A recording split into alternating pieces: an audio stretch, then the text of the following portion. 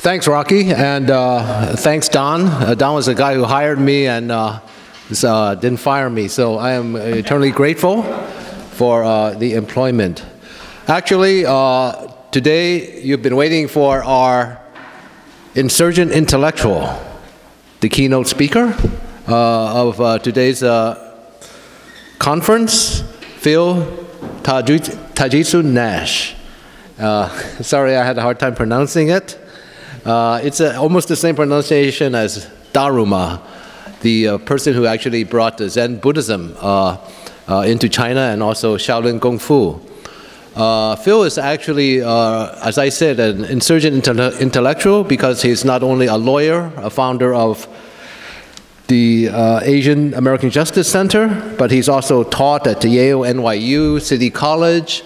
He is also a person who is interested in experiential education, media, uh, and travels uh, throughout the world uh, doing this. I've actually known Phil for at least, I don't know, 20, 30 years. And uh, actually, Phil is always the insurgent. And I think it's uh, actually uh, fitting that we have him for Resurgent Realities.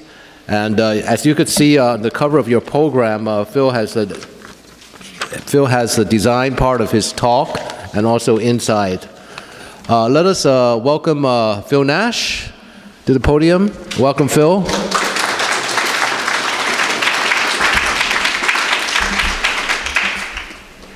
just want to say uh, thank you to the uh, AAARI and CUNY and everyone for inviting me here.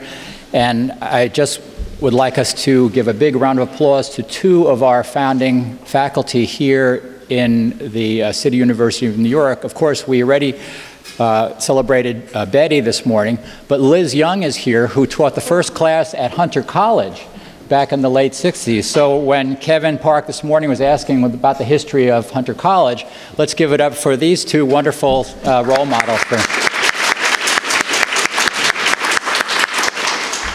Um, Another uh, point I wanted to make about our panels this morning, uh, it was raised about how we include South Asians, people who are Muslim, people who are Arab. Um, you just have to do it. And I remember when I first taught a class uh, at Yale in 1985, and actually one of my alums, David Chen, is here from the class back in 85, 86, so it's great to keep in touch with your students over several decades. Uh, we had a student who was South Asian, and there was nothing in my syllabus related to South Asian. So I immediately asked her to talk to her mom, and we found a woman uh, who was South Asian who came and talked to the class. And I dutifully sat in the back of the class and took notes, learning about the South Asian experience. And um, that's just how it gets done. You have to make sure people were included. Several years later, when this same woman, Shashwati Paul, uh, became a lawyer, and I was heading the Asian American Justice Center, um, we needed to have a fellow coming in that was paid for by one of the corporations. So I hired her as our first uh, justice fellow.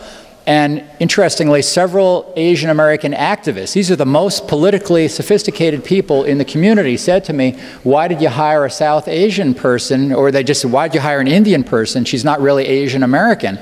And so we had a long discussion after that. So these type of discussions happen over and over again. Unfortunately, after three decades, we're still having some of the same discussions, but that's just the way it is.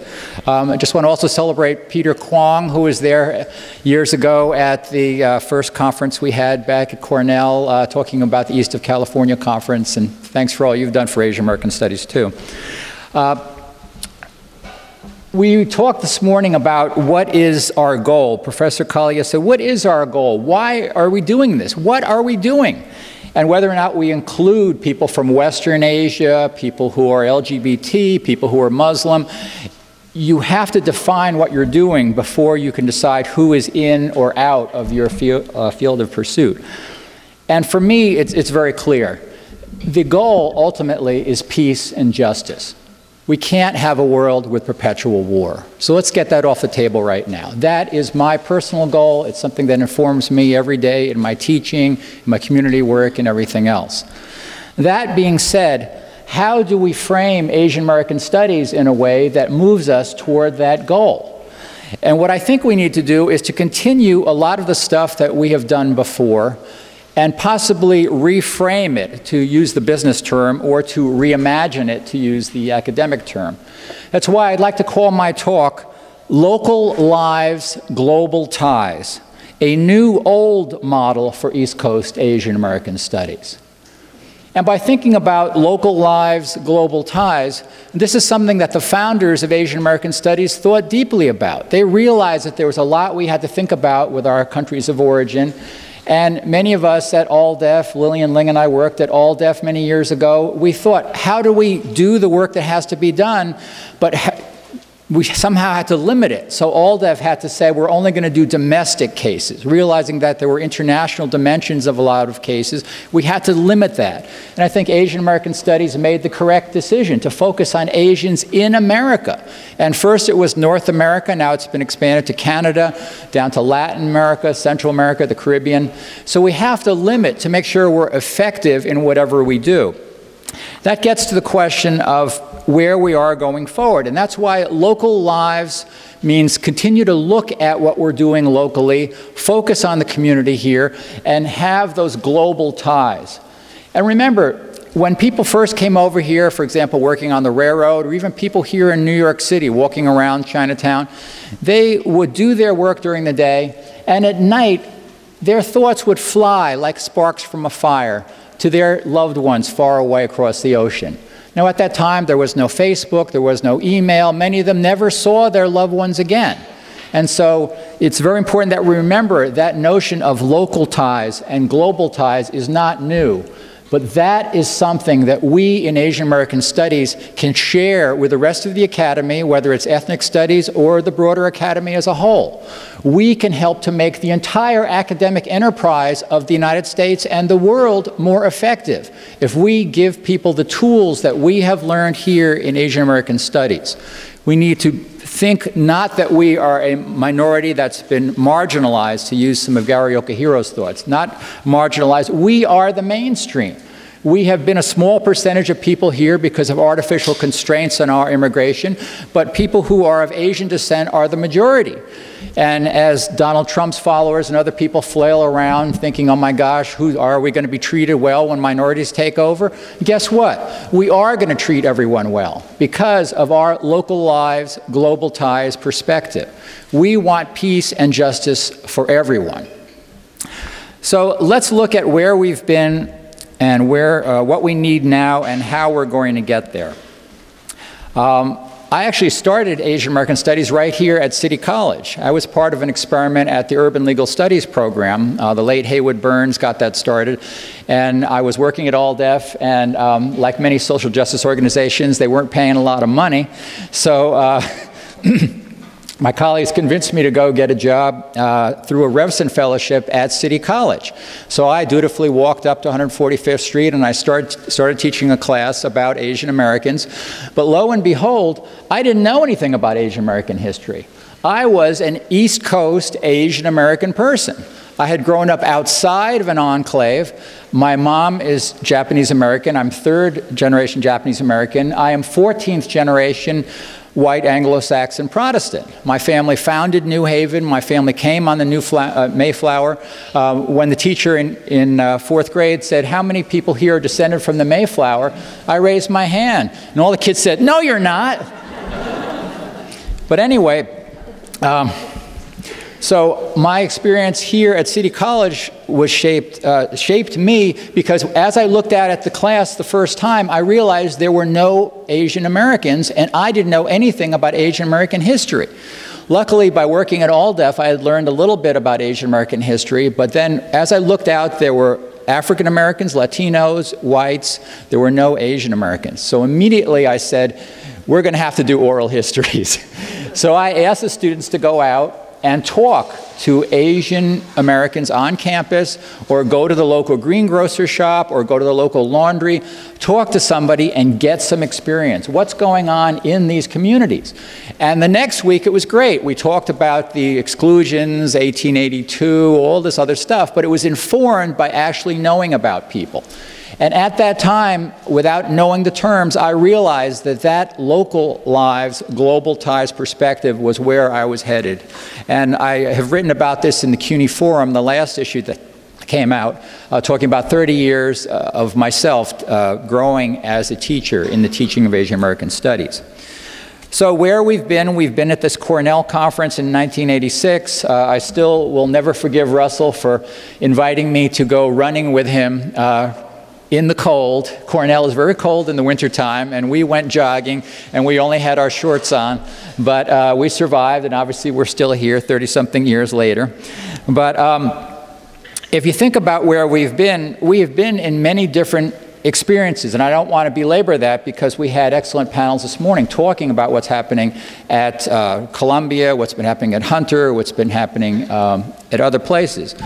I also had an experience at NYU where I taught metropolitan studies, which was my major many years ago, and I helped to create the first Asian American Studies class back in the mid 80s because they needed somebody who was already on uh, campus to submit their syllabus. So I used the syllabus I'd created at Yale, submitted it, and helped to get a class started. It was ultimately taught by someone else because I went on to teach at CUNY Law School. But again, that gets back to the question the students were asking this morning. You have to know how the system works. You, it's great to raise your fist. It's great to say I'm going on hunger, hunger strike. It's great to do all those things. I've done some of those things myself. But at the same time, you need the insiders to help you. And so ultimately, we were able to get a class started there. Ultimately, it was much later when Jack Tchen and others came, uh, Laura Chen Schultz and others have created a very effective program now, the Asian slash Pacific American program. But some of these things have histories that go back beyond just the current uh, iteration. So what's different about the East Coast experience? I'm always thinking about Asian American studies in the broadest sense. And yes, I want to give tribute to my friend and colleague Don Nakanishi, and thank you, Rocky, for that moving tribute. It was very important to remember people like Don who got things started. Uh, when I started teaching at Yale, I really didn't know Yale or the whole experience. So he was very generous with his time, helping me to get materials together uh, and, and giving me encouragement. So what's different about the East Coast? Well, we have a different cohort of people who were here. When I was here growing up in the 1960s and 70s, um, the population had a lot of Chinese, Japanese, Filipinos. There were other people.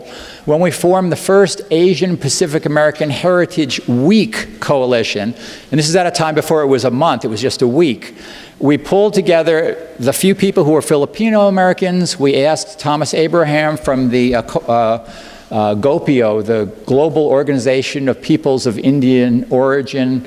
Uh, you know, there were different people who came together, so we knew some Indian Americans, some Filipino Americans, some Chinese Americans, and we were trying to define what is Asian American. I will never forget this argument I had where I was trying to invite Jeff Lee and the Heat to come and play their song high school sweater, which is no, no, no, no, no, no. And people said, no, when you have electric guitars, that's not Asian American. And I said, really? These guys are Asian American.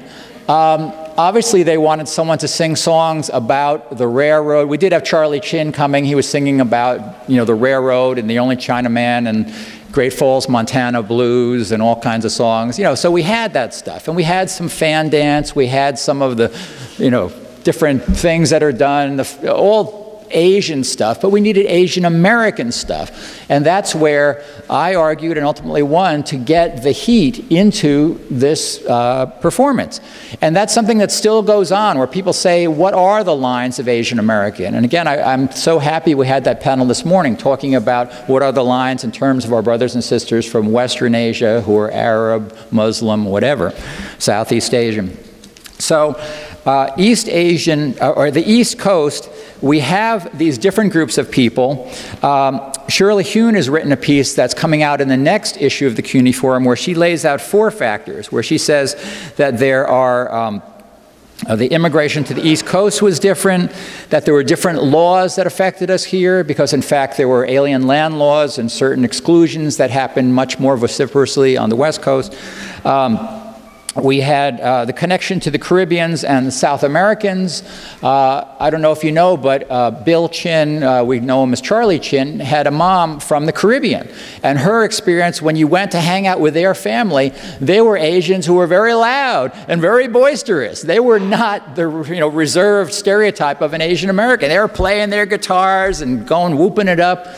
They brought a lot of excitement and enthusiasm to the movement, the same way a lot of, a lot of Hawaiians brought that excitement and enthusiasm here. I remember the first time I went to a gathering of Hawaiian people, expatriates who were here in New York, and they were all so loud and they were very, you know, doing their thing. And one of them said, you know, I want to play uh, Hamlet in that play. And I thought to myself, well, gee, if I were in Hamlet, I'd just be a, a spear carrier or something. You know, no, no, damn it, I'm going to be Hamlet. I'm going to be Juliet. I'm going to be the leader. And I said, boy, these Hawaiians are something else. They, they really don't hold themselves back. And that got me to thinking about this notion about confidence. We're going to talk about cultural confidence in a minute. Very, very important concept. So Shirley, as always, has been one of the path breakers. Shirley uh, actually helped us found Asian American Studies at the University of Maryland, too. She was like our Johnny Appleseed of Asian American Studies. She was studying at George Washington University in D.C., and then she uh, started teaching about it there. She's actually uh, Chinese Canadian, so actually she has that other international piece even to get started. And so she's taught there. Then she came over and taught at the University of Maryland. She came up here and taught at Hunter, became an administrator. Then she went out to the West Coast, taught at UCLA, and now she's at Seattle. So she's another one of the giants, uh, you know, just like Betty, Liz, and others. So, um, so the East Coast, according to Shirley, has those four factors. I would add some other factors. Um, uh, aside from the less broad-based anti-Asian um, uh, law that we had to deal with, there were a lot of federal employees here. And it's not something to be taken lightly because when you think about the formation of Asian Pacific American Heritage Week, which became Asian Pacific American Heritage Month, it took people like Ruby Moy, who was working in the office of, of Frank Horton, who was a Republican uh, from upstate New York, and he worked with Democrat Norm Mineta, and they were the ones who pushed through that first bill to celebrate Asian Pacific American Heritage Week. And I remember sitting at the basement workshop here in New York City, and we were going, well, duh, what is this Heritage Week thing? What do we do? And we decided to have a big festival. So we had a giant festival at Damrosch Park and Lincoln Center. And the problem was it had never been done before, so nobody knew how to do it. And so we said, well, we're going to get the giant speakers from the basement workshop, and we're going to bring them up to there, and we're going to have a great performance. Well, the problem, then we found out that these giant voice of the theater speakers had to be taken down by elevator, and the basement workshop was actually on the seventh floor, and this, the elevator didn't work on the weekend because the uh, for whatever reason. So we had to bring the speakers down Saturday, uh, Friday night, and I had to sleep with those speakers until Saturday morning to make sure nobody stole them. I mean, these are the little backstories about how Asian American history happened. I mean, yes, we can celebrate, wow, it's the 30 you know, 40th year of Heritage Month, but you know, it took a lot of people doing a lot of stuff and a lot of things that went wrong. It's very, very important to realize that we are here celebrating a lot of the things that went right. We made a ton of mistakes. Um, we just don't talk about them very much. And actually, I'm here on video, but I will say, we, every mistake that you could make, we made it and we are still moving forward. It's important to always have an iterative way of viewing the world, something that just, you know, you learn from it, you move forward. You learn from it, you move forward. So anyway, so these are things that are different about the East Coast, and today, obviously, we have tremendous diversity, large numbers of people from many populations, um, and we have enough critical mass to also self-segregate. So I remember thinking to myself, I talked to people from LA where they would have the Korean American Christian Volleyball Club, and I thought, well, gee, the Japanese Americans are so few in New York, we all know each other. We had the Buddhist church and the Christian church were the two basic uh, places we congregated, and the Buddhist church tended to be more Japanese focused, teaching Ikebana and martial arts and Taiko. And the Japanese Christian church had some of that, but there were also people who were more focused on things outside of the Asian American community, but we all knew each other. When we went to each other's gatherings, we went together to the cemetery, to Cypress Hills and Mount Olivet to celebrate all of our ancestors, no matter which God they, uh, they worshiped or no God at all. So it was great to have a small community to a certain extent. So today we have all these people and we, as Asian American Studies programs, as we discussed this morning, have tremendous pressures. We've got the financial pressures, the consolidation pressures, all these other pressures. So, what do we need now? Getting to the third part of my talk. What do we need now? I would say that we need a new repackaging or repurposing of what we've all, always had this notion of local lives, global ties. So, if you look in your program now, you will see a, um, the first graphic here. We talk about what are the goals of Asian American studies. And it's also right here on um, page four of your program. So, what were the initial goals of Asian American studies? We had thought that we wanted to have a knowledge of our communities, we wanted to celebrate our communities, we wanted to preserve our communities. Some of us wanted to have more advocacy for those communities and promote service to those communities. And that more or less has been what we've been doing. And some, such as uh, San Francisco State, UC Berkeley, you know, they've been doing it for four decades. So it, it's great to see how much we've done. Uh, we have programs now all over the country. So it's great. And many of them share these goals. I would like to propose that we add the following two to our goals, broadly speaking. And don't forget, the Association for Asian American Studies wants professional development and scholarship. Professional development and scholarship are important. Yes, let's keep those. But I would propose two other pieces as we move forward in terms of our goals cultural competence and cultural confidence. Now, cultural competence is something that's happening on a lot of universities. It's not something that we created at the University of Maryland, although we have been at the forefront. If you go to look at the University of Maryland and look at our general education program, you will see how this has been fleshed out by people in the university. And it's very important because it is diversity 2.0. It's not enough to say, do I use fork and chopsticks? It's not enough to say, do I take off my shoes when I come in your house? When you have that, you are at the threshold. That's good. That is wonderful to have that level of consciousness. But what are the tools you need to go beyond that? This is something that every one of our graduates needs on every campus, on every university. Every single person in the world is going to go out into a world where they meet people who are different from themselves. Your spouse, your family, your business partners, your, the people you supervise, people who supervise you, people you worship with, people, everyone, is a, there's a good chance that these people will be different from you in meaningful ways. And if you want to maximize the effectiveness of how you deal with those people, then you will want to learn cultural competence. So let's look at the next graphic here, which again is an attempt to just reduce a lot of things to just one eight-sided graphic. It starts with the knowledge of culture and knowledge of history that we all want to have. When I came here, the first thing I did was I Googled the names of all the colleagues I was going to be on the panels with. I like to learn a little bit about them so I will have a more meaningful conversation. I will learn what they've done. Maybe I can say, oh, you are at a school with this person, or you've done this thing. Let me learn a little more about that.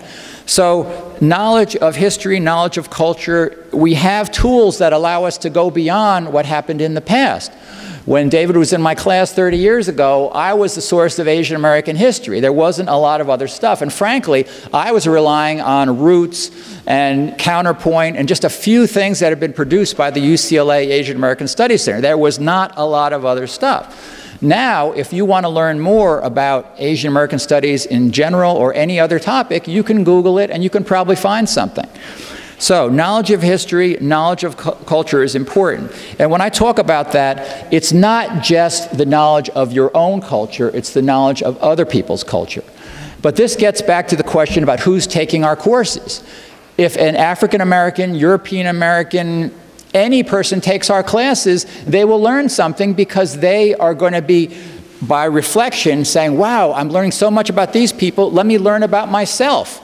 My family, who is of German ancestry, for example, came over to this country at some point in time.